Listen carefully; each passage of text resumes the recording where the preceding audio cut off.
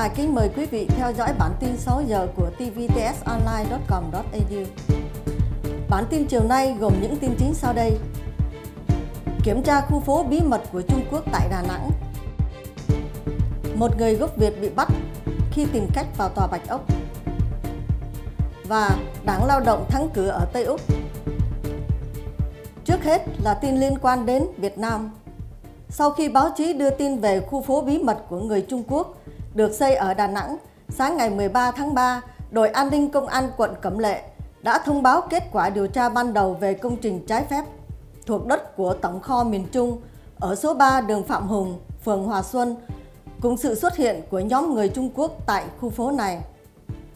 Theo điều tra, công ty Việt May Home cho công ty Liên Hiệp Thế Duy thuê đất. Công ty Liên Hiệp Thế Duy sau đó cải tạo xây dựng thành công trình trung tâm giới thiệu trà và đặc sản Việt Nam. Ngày 9 tháng 3, khi công an và quy tắc đô thị kiểm tra, đơn vị thi công không xuất trình được hợp đồng thuê đất cũng như giấy phép cải tạo. Chủ đầu tư dãy nhà rộng 1.500 m2 bên trong nhà kho cho rằng đã nhầm lẫn khái niệm cải tạo và xây dựng nên không xin giấy phép. 9 giờ sáng cùng ngày, một đoàn khách 5 người Trung Quốc được ông Nguyễn Công Nguyên, 30 tuổi hướng dẫn viên du lịch đưa vào công trình. Khi công an kiểm tra, ông Nguyên không đeo thẻ hướng dẫn viên, không xuất trình được giấy phân công hướng dẫn viên. Chương trình đoàn khách, hợp đồng lao động, ông Nguyên đã thừa nhận sai phạm của mình. Nêu lý do xây không phép, ông Bùi Đăng Thiên, giám đốc công ty Liên Hiệp Thế Duy nói, chúng tôi nhận thiếu sót do nhầm lẫn và chưa hiểu rõ giữa việc cải tạo và xây dựng. Hiện chúng tôi đã làm hồ sơ xin giấy phép bổ sung trình sở xây dựng. Trả lời câu hỏi có hay không người Trung Quốc đứng đằng sau công ty và công trình khu phố này, ông Thiên khẳng định, chúng tôi góp vốn với đối tác khác nhưng 100% vốn là của Việt Nam. Giấy phép kinh doanh đều thể hiện như thế. Riêng về kiến trúc khu phố, ông Thiên nói công trình được thiết kế theo nhà cổ ở Hội An và Hà Nội. Còn có giống kiến trúc Trung Quốc hay không là tùy cảm nhận của mỗi người. Tiếp theo là tin tức quốc tế nói có hẹn với Tổng thống Mỹ, một người gốc Việt bị bắt khi tìm cách vào tòa Bạch Ốc. Người đàn ông mang ba lô xâm nhập đã bị bắt ngay trước cửa đêm thứ Bảy tuần qua sau khi vừa vượt qua được hàng rào vành đai ngoài cổng của tòa Bạch Ốc. Các nhân viên mật vụ Hoa Kỳ mặc đồng phục đã bắt giữ người đàn ông này, xác định danh tánh là Jonathan Trần, 26 tuổi, cư dân thành phố Milpitas, tiểu bang California, Tổng thống Donald Trump nhận xét rằng người thanh niên này là một người có vấn đề. Ba lô của Trần không chứa chất độc hại gì ngoài hai bình xịt hơi cay cùng với hộ chiếu của anh ta. Có tin là Trần đã nói với những an ninh rằng anh là một người bạn của Tổng thống và đã có một cuộc hẹn trước nên anh ta nhảy qua rào. Hôm sau, Tổng thống Donald Trump nói với các phóng viên rằng ông đã được thông báo về vụ việc một cách nhanh chóng. Ủy ban tình báo Hạ viện yêu cầu Tổng thống Trump đưa chứng cớ bị nghe lén để hỗ trợ điều tra việc tố cáo điện thoại của ông tại tòa nhà Trump Tower bị nghe lén trong thời gian bầu cử. Trong khi đó, trên đài CNN, Thượng nghị sĩ John McCain, Chủ tịch Ủy ban Quốc phòng Thượng viện nói Tôi nghĩ Tổng thống có hai lựa chọn. Một là rút lại lời tố cáo này, hai là cung cấp bằng chứng mà người dân Mỹ xứng đáng được biết. Bởi vì nếu vị Tổng thống tiền nhiệm, ông Barack Obama, vi phạm luật pháp, đây là vấn đề nghiêm trọng đối với chúng ta. Cựu Tổng thống Hàn Quốc bị truất phế bà Park Geun-hye hôm Chủ nhật đã xin lỗi những người ủng hộ bà vì bà đã không hoàn thành nhiệm vụ trên cương vị Tổng thống. Bà Bạc đã rời khỏi dinh Tổng thống hai ngày sau khi Tòa Bảo Hiến đưa ra phán quyết cách chức bà vì vụ tai tiếng tham nhũng. Hôm Chủ nhật, bà đã về nhà riêng ở Seoul nơi hàng trăm người ủng hộ đã bày tỏ sự phản đối việc cách chức bà. Bà Park đã không nói chuyện với các phóng viên, nhưng người phát ngôn đã đọc một tuyên báo, trong đó bà Park tái khẳng định bà vô tội và nói thời gian sẽ chứng minh bà vô tội. Phán quyết của tòa án cũng đã bãi bỏ quyền miễn truy tố dành cho vị tổng thống bị truất phế. Hàng chục nghìn người Hàn Quốc ủng hộ việc phế truất bà đã xuống đường vào cuối tuần để ăn mừng trong khi một nhóm khác ủng hộ bà Park tuyên bố sẽ chống lại điều mà họ gọi là một vụ ám sát chính trị.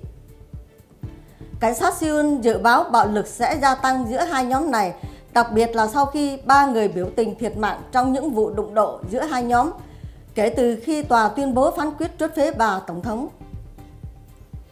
Trở về Úc, Đảng Lao động chiến thắng long trời lở đất ở Tây Úc. Sau 8 năm cầm quyền, Đảng Tự do của Thủ hiến Bạc Nen đã thua đập, chỉ còn lại khoảng 19 ghế trong tổng số 59 ghế ở Hạ viện. Trong khi đó, Đảng Lao động đã từ 20 ghế trong nhiệm kỳ vừa qua, nay chiếm tới khoảng 40 ghế. Sự thắng cử long trời lở đất này sẽ khiến Đảng Tự do ở thế đối lập trong một thời gian dài. Cuộc bầu cử ở Tây Úc cho thấy cả hai đảng tự do và một nước đã đi sai nước cờ.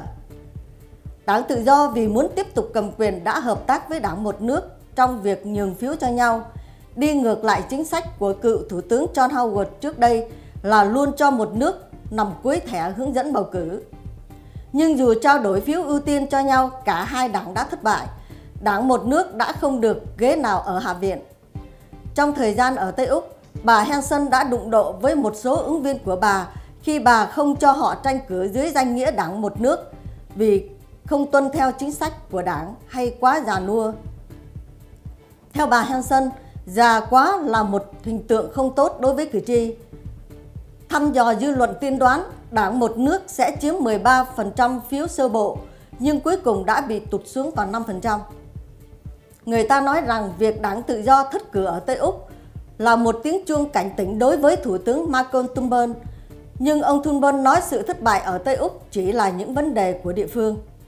Cũng có người cho rằng thời gian là yếu tố gây thất bại vì sau 8 năm cầm quyền của tự do, cử tri cảm thấy cần có khuôn mặt mới. Ông McGowan sẽ nhậm chức thủ hiến Tây Úc trong tuần lễ này. Chủ nhân chiếc máy bay không người lái thường được gọi là Ron bay đụng vào tòa nhà cao nhất thành phố Melbourne vào tháng Giêng vừa qua đã bị phạt 1.000 đô la. Cơ quan an toàn hàng không dân sự CASA đã phạt người đàn ông này khi chiếc máy bay drone của ông ta bị mất kiểm soát và đụng vào cao ốc Yurika. Cơ quan CASA nói vùng đông cư dân như khu Sao Banh không phải là nơi thích hợp để chơi máy bay drone. Mẹ của cô gái du khách ba lô người Anh 20 tuổi bị một du khách ba lô người Pháp giết chết tại một nhà trọ ở Queensland hồi tháng 8 năm ngoái, chỉ trích chương trình vừa đi nghỉ hè vừa làm việc của Úc. Bà Rose Alip, mẹ của cô Mia Alip Trung, viết trên báo chí Anh Quốc về tình trạng lạm dụng tình dục và làm việc như lô lệ ở các nông trại của Úc.